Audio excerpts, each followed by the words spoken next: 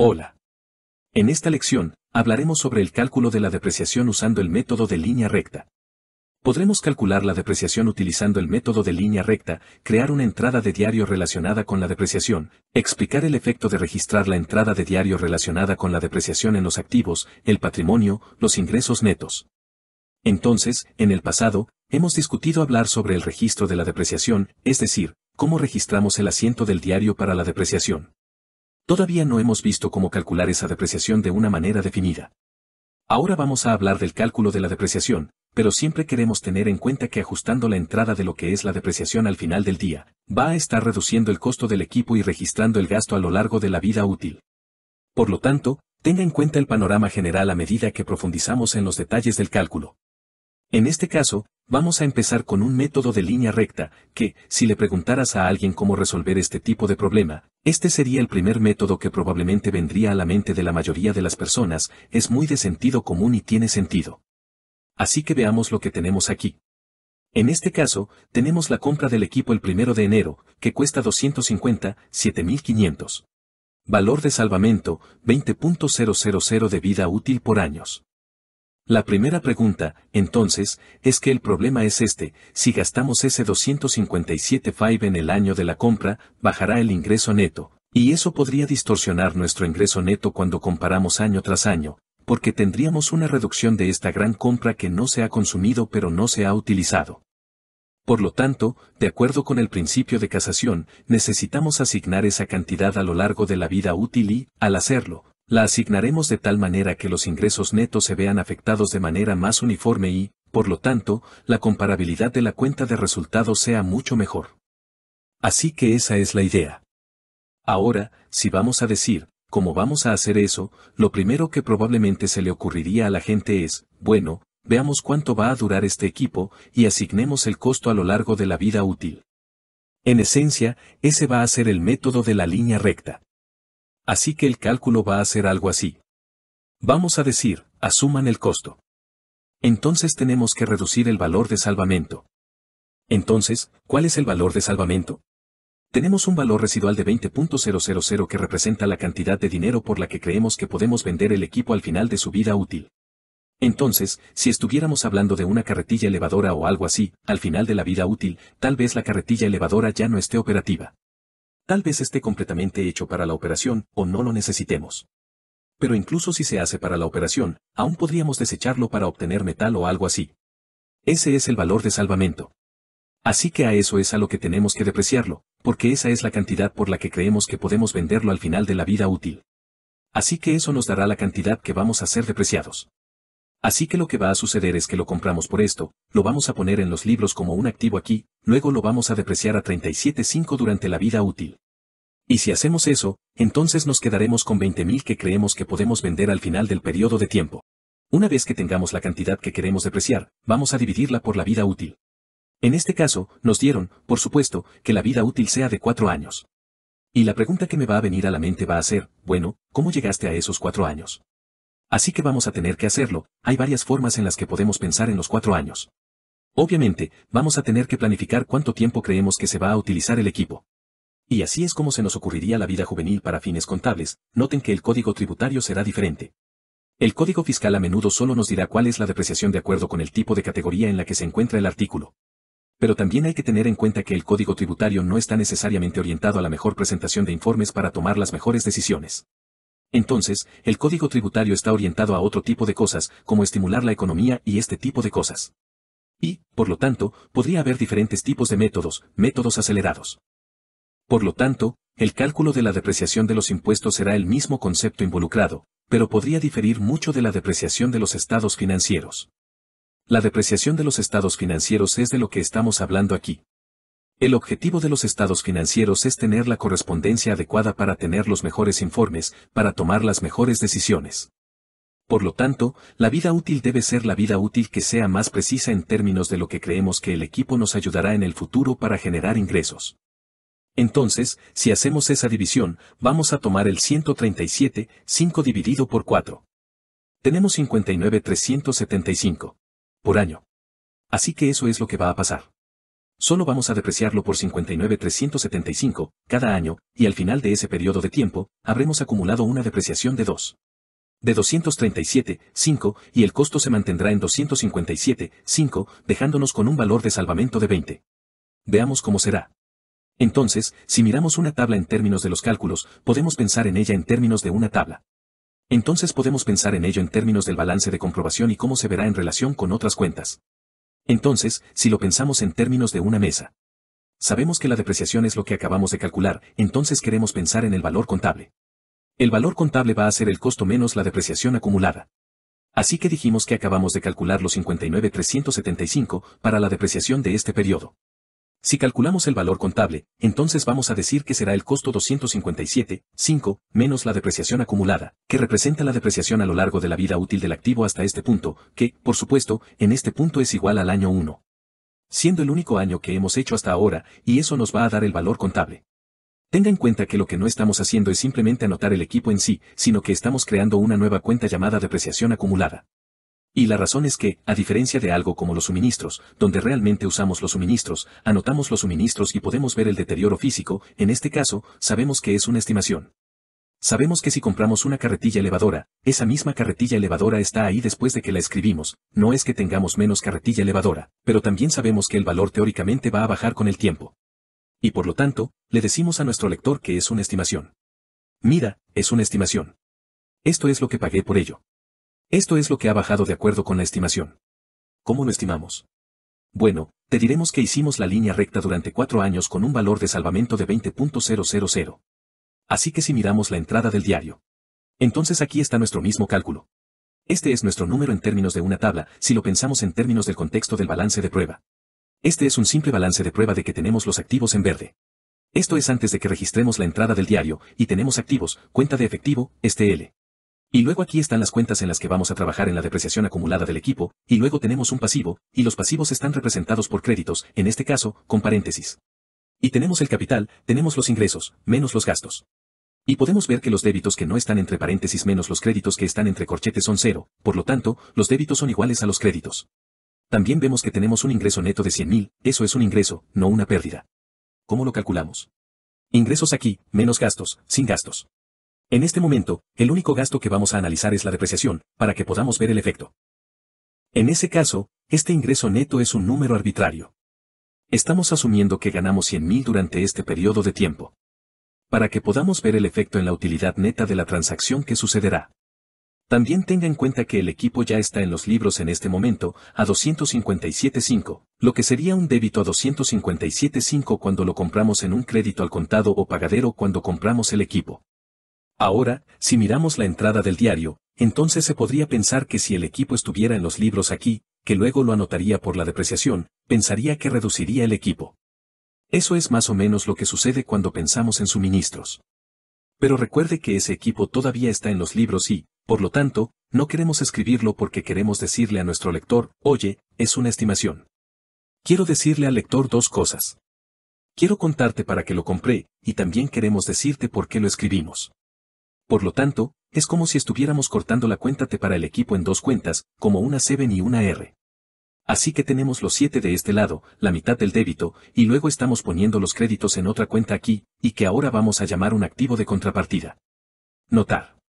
Todavía está verde, todavía está al lado de todos los demás activos, pero tiene un rebote de crédito representado por los paréntesis, porque en realidad es la mitad de la reducción del equipo aquí, está bien.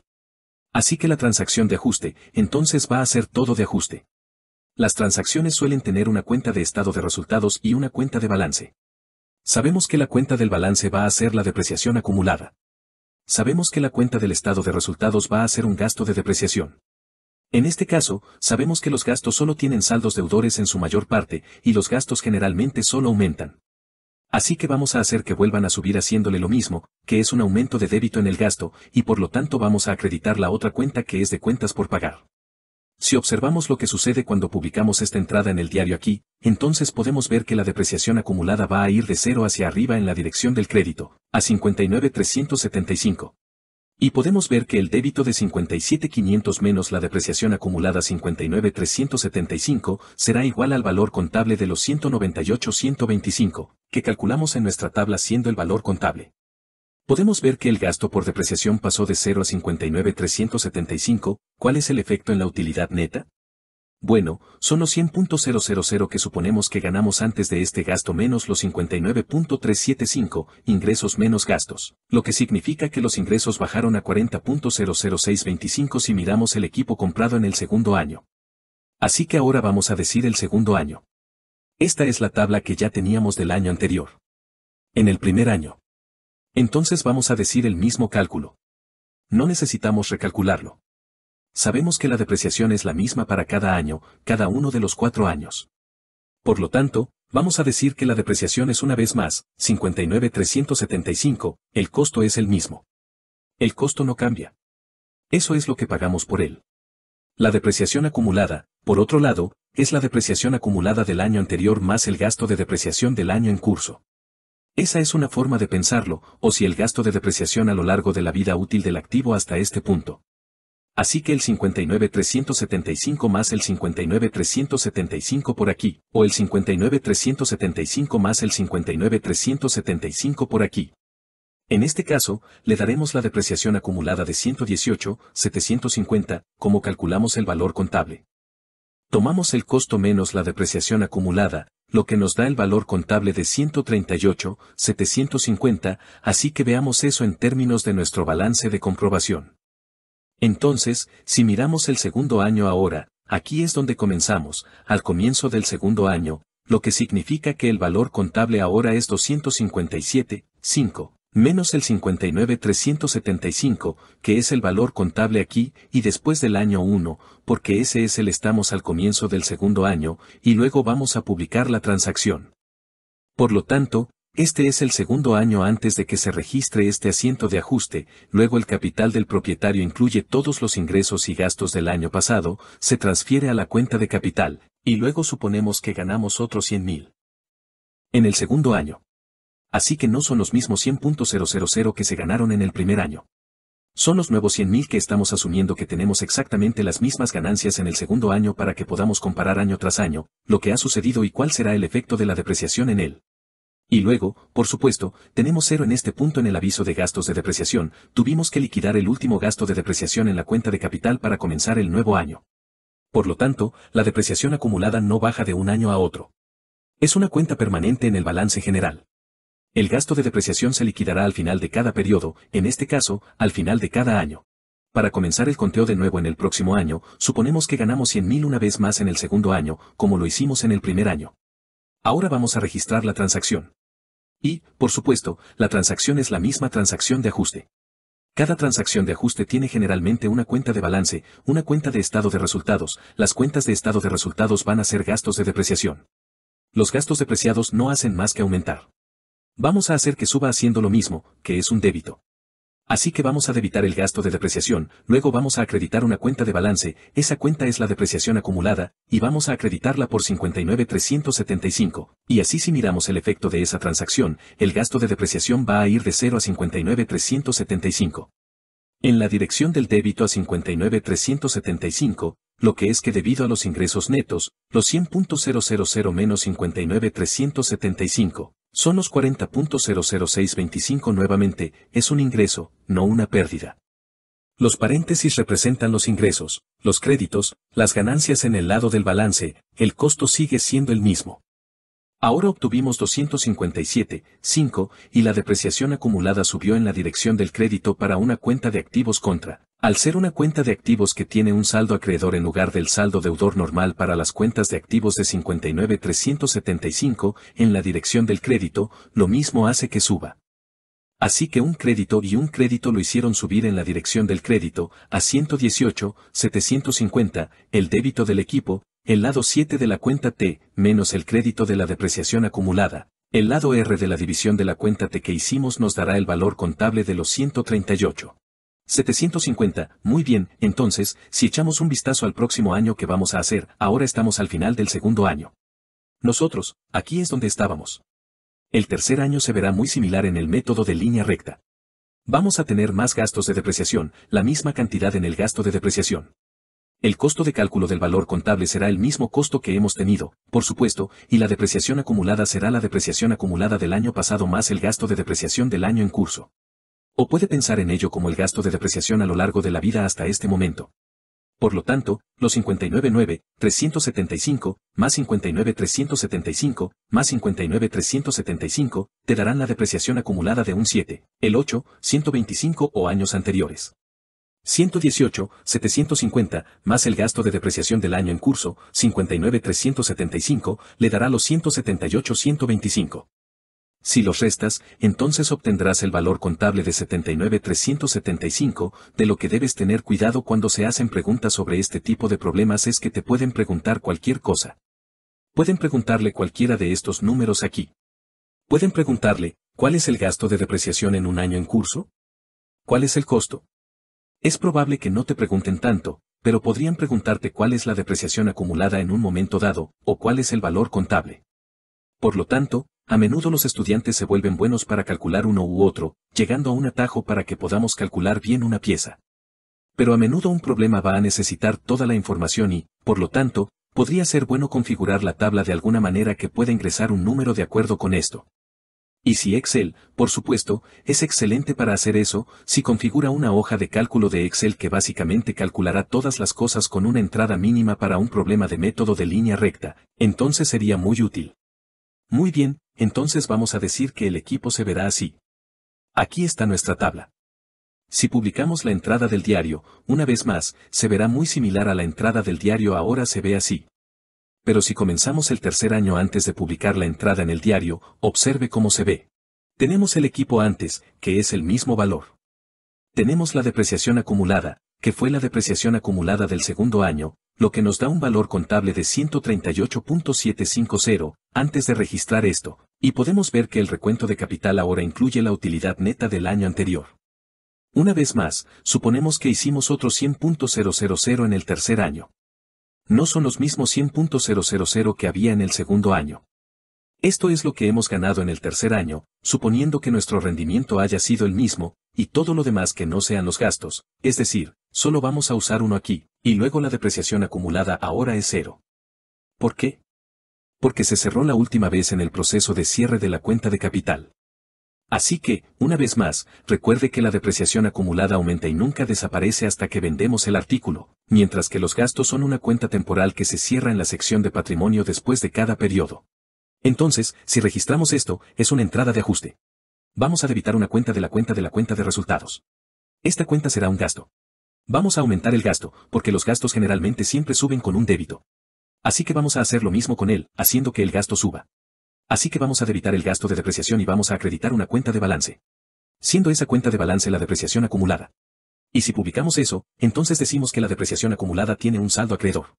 Vamos a acreditarlo, y eso es en realidad una cuenta de activos contra contra, porque es un activo con todos los demás activos que tiene un saldo acreedor que es contrario al saldo deudor normal de los activos.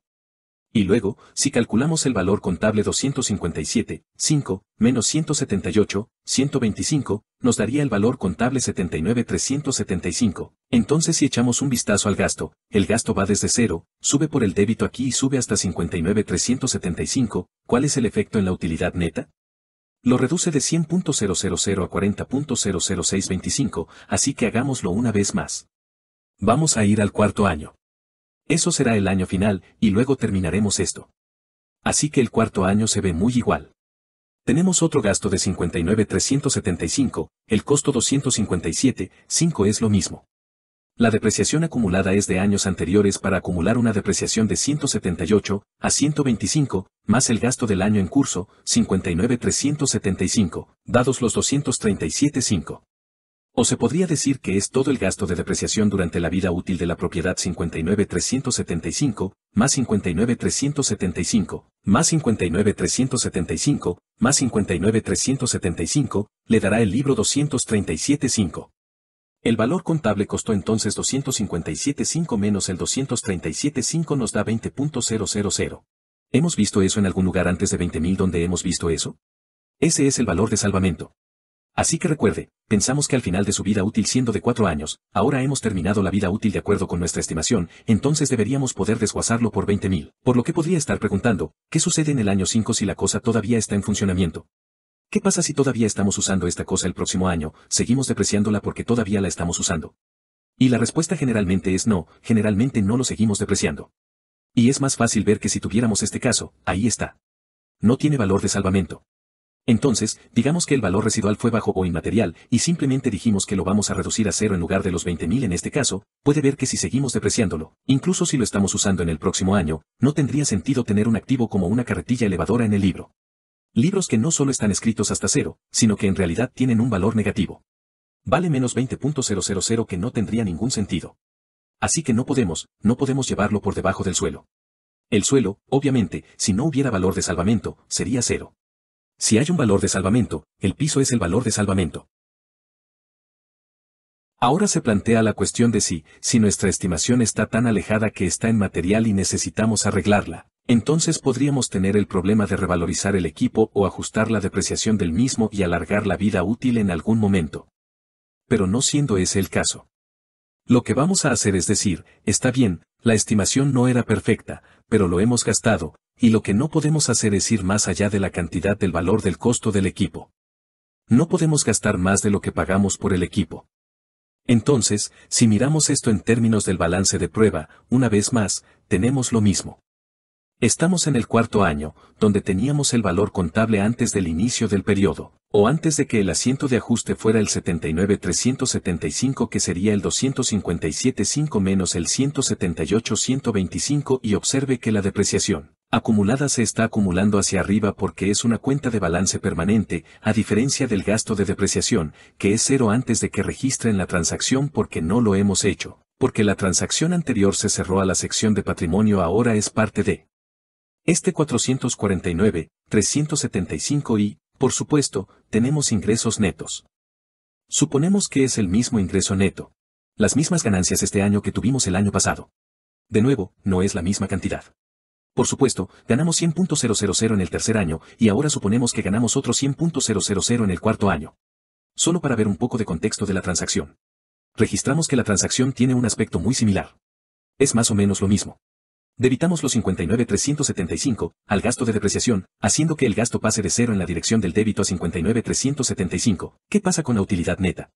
100.000 menos 59.375, lo baja a 40.00625 la depreciación acumulada va de 178.125 hacia arriba en la dirección del crédito, porque estamos haciendo lo mismo con el crédito, y el crédito hace que el crédito suba a 237.5. Y ahora, si tomamos los 257.5, menos los 237.5, es decir, 20.000, por lo que podemos ver en nuestro balance de comprobación que nos queda un valor contable. Ahora bien, quiero señalar que, por supuesto, estamos hablando de un solo equipo, y muchas empresas, por supuesto, tendrán muchos equipos, y nosotros los tendremos, por lo que tendremos que tener este número agrupado. Estos dos números agruparán gran parte del equipo en él, y tendremos que tener hojas de trabajo que básicamente registrarán esta depreciación y respaldarán este programa de depreciación. Este es un ejemplo simplificado, para que podamos ver el contexto aquí, notar que estos números, en realidad, a menudo tendrán muchas cosas involucradas, y tendrán muy detalles. Libros de contabilidad que harán los cálculos de la depreciación, de modo que respalde estos números, y a menudo tendremos que tener, por supuesto, dos de ellos, uno para los impuestos, posiblemente, y otro para los libros, por supuesto, y tal vez incluso más que eso, dependiendo de las diferentes regulaciones fiscales y de nuestras necesidades en ese caso. Entonces, si miramos esto en términos de año tras año, voy a poner el balance de prueba final para el año 1, el año 2, el año 3, el año 4. Así que podemos comparar esto y ver qué le ha sucedido. Vemos que la depreciación en la mesa se mantiene igual cada año. Podemos ver que en nuestro balance de comprobación se mantiene igual cada año. Cada año vamos a depreciar la misma cantidad podemos ver que la depreciación acumulada sube a una tasa fija, es decir, sube a 59.375 cada año hasta el último año, el cuarto año, en cuyo caso eso es el final, y no subirá en el quinto año, porque lo hemos depreciado completamente hasta el valor de salvamento. Y eso lo vemos, por supuesto, también en la tabla. ¿Qué pasa con el valor contable? Baja a un ritmo constante. Por lo tanto, está bajando en 59.375, a tasa constante, dejándonos con el valor de salvamento de los 20.000 que pasa con la utilidad neta? Es un efecto uniforme en los ingresos netos. Ahora, recuerde, estamos asumiendo que asumimos que ganamos 100.000 cada año. No son los mismos 100.000 que estamos suponiendo que cada año nos ha ido exactamente igual en los ingresos. Y el modelo está mostrando que solo tenemos un gasto. Así que podemos ver, podemos aislar ese gasto y ver cuál sería el efecto si ese fuera el caso en la utilidad neta. Obviamente, en la realidad, eso está en la marihuana, eso nunca pasaría. Pero en el modelo, nos ganan los mismos 100 mil cada año, y el único gasto que tenemos es esta depreciación. Por lo tanto, el efecto es la reducción de la renta neta de la misma manera. Así que tenemos el mismo ingreso neto, todo lo demás igual excepto la depreciación, el ingreso neto sería el mismo porque lo distribuimos uniformemente. Ahora, más adelante, ese no será el caso. Les voy a mostrar los cálculos posteriores que tendremos. Esta es nuestra asignación. Aquí se puede ver la asignación uniforme y el efecto de la utilidad neta, la próxima vez que vamos a entrar en el método de doble declive, que es la idea de que deberíamos poder depreciar más en los primeros años que en los últimos, porque el equipo será más eficiente en los primeros años que en los posteriores. Así que hay, ya sabes, alguna razón que es apropiada, en este caso, para hacer este tipo de método. Así que vamos a decir que deberíamos ser capaces de adelantar la depreciación y, por lo tanto, ¿qué haría eso? Bueno, eso reduciría la depreciación, y quiero decir que aumentaría la depreciación, reduciría el ingreso neto en los primeros años y aumentaría el ingreso neto en los años posteriores. Así que eso es lo que vamos a ver la próxima vez. Fíjate que en el primer año aquí, tenemos un ingreso de 40.000 y si usamos este método, tenemos una pérdida de 28.750, así que esa es una gran diferencia. Luego, en el segundo año, tenemos una ganancia de 35 bajo esta metanfetamina 35625, en comparación con 40.00625 y luego sucede lo contrario. Tenemos 67,815, por debajo del doble decreciente y los mismos 40.00625 y luego los ingresos suben mucho más.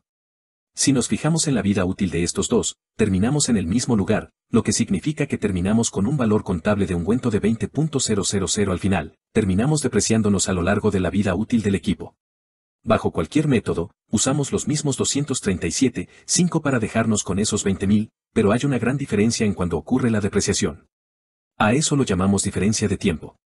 Entonces, durante el periodo de cuatro años, no hay diferencia después de que terminan los cuatro años, pero dentro de ese periodo de cuatro años, hay una gran diferencia.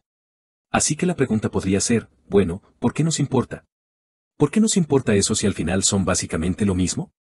Y la respuesta es que, ya sabes, va a haber mucho efecto en nuestra comparación de los estados financieros. Por lo tanto, para fines contables, queremos que los estados financieros sean lo más precisos posible. Teóricamente, ese es nuestro objetivo. Así que los principios de contabilidad dirán, bueno, ¿cuál de estos métodos es realmente el más preciso? Y hay un argumento para decir que el doble declive o algún tipo de método acelerado es más preciso, porque nos daría más depreciación o más uso en los primeros años que en los años posteriores. Pero también hay algo de que si estamos hablando de un incentivo fiscal, nótese que si saltamos al código tributario, tenemos el incentivo inverso. Fíjate que si estamos tratando de vernos bien, lo que usualmente asumimos que queremos hacer para propósitos de estados financieros, esto nos hace ver mal en los primeros años y mejor en los años finales, lo cual, para propósitos de estados financieros, probablemente no es tanto lo que queremos para propósitos fiscales, eso es más de lo que queremos, porque si somos capaces de hacer la deducción hoy, preferiríamos obtener los dólares de los impuestos hoy y luego en el futuro. Por lo tanto, en el caso de los impuestos, claramente, si una empresa tuviera otra opción, que tiene menos opciones, porque el código tributario, básicamente dicta cuáles serán nuestras opciones de depreciación de una manera diferente a los principios de contabilidad generalmente aceptados. Pero si tuviéramos la opción, querríamos depreciar, por lo general más en los primeros años que en el último año en impuestos. Cuando pensamos en nuestros estados financieros, las empresas a menudo tienen un incentivo para verse mejor en los años actuales. Por lo tanto, podrían tener un incentivo para usar un método de línea recta para verse mejor en los años actuales. Pero el objetivo final de los estados financieros es hacer lo que es más preciso en términos de comparación año tras año, y hay un argumento para que un método acelerado sea mejor en eso. Ahora, si quisiéramos tomarnos más tiempo para ser más precisos, podríamos probar un tipo de método diferente a estos dos. Podríamos decir, oye, ¿por qué no usamos un tipo diferente de base en lugar de solo tiempo? Y es similar a si estuviéramos tratando de calcular el valor del automóvil o la depreciación del automóvil. ¿Deberíamos simplemente tomar el automóvil y dividirlo por su vida útil, o deberíamos usar algo que podría ser más preciso, como tomar el kilometraje del mismo y usar el kilometraje en lugar del tiempo para depreciar el automóvil? Mucha gente diría, bueno, eso sería más preciso. Ninguno de ellos es perfecto, por supuesto, pero esas serían las unidades de producción de las que hablaremos la próxima vez, en cuyo caso, y hablaremos de eso más adelante, pero en cuyo caso ahora vamos a decir, bueno, en lugar de simplemente depreciar con el tiempo, digamos a cuántas unidades va a llegar esta cosa. Producir. Entonces, si estamos hablando de una impresora, y sabemos que va a imprimir tantas páginas durante su vida útil, eso es lo que dice la garantía, entonces podemos dividir el costo por el número de páginas, y luego podemos ver cuántas páginas se imprimieron durante un cierto periodo de tiempo, y depreciar de acuerdo con ese método, lo que normalmente se consideraría más preciso. ¿Cuál es el problema con ese método? Eso significa que tenemos que contar las páginas y luego depreciarlas, lo que lleva más tiempo hacerlo. Así que esos son los pros y los contras entre estos tres. Tenga en cuenta que en este ejemplo, si lo hiciéramos con el método más preciso, que asumiríamos que para ser más preciso, estamos mostrando que los gastos realmente se cargan más al principio, lo que significa que lo estamos utilizando más en los primeros años que en los años posteriores. Y eso tendría sentido, y apoyaría un método acelerado. Por lo tanto, Ahora podemos calcular la depreciación utilizando el método de línea recta, crear una entrada de diario relacionada con la depreciación, explicar el efecto de registrar la entrada de diario relacionada con la depreciación en los activos, el patrimonio neto y los ingresos netos. Así que,